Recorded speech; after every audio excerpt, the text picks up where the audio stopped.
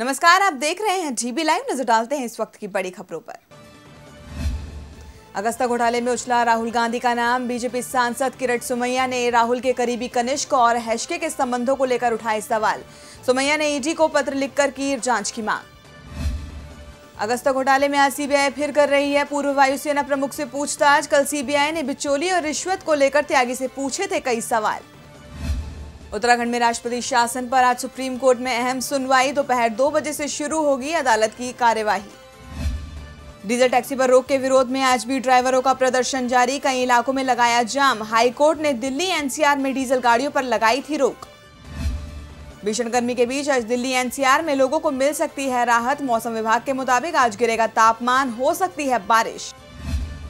पाकिस्तान को अमेरिका से बड़ा झटका। अमेरिकी सांसदों के विरोध के बाद अब एफ़ सिक्सटीन लड़ाकू विमानों के लिए अमेरिकी मदद पर लगी रोक। पाकिस्तान को चुकानी होगी डील की पूरी कीमत। आईपीएल नाइन में केकेआर की शानदार जीत बेंगलोर को पाँच विकेट से हराया। यूसुफ पठान ने खेली नाबाद साठ रनों की पारी। तो ये थी इस वक्त की बड़ी खबरें। देखते रहिए जीबी लाइव, क्योंकि यहाँ है खबरें लगातार।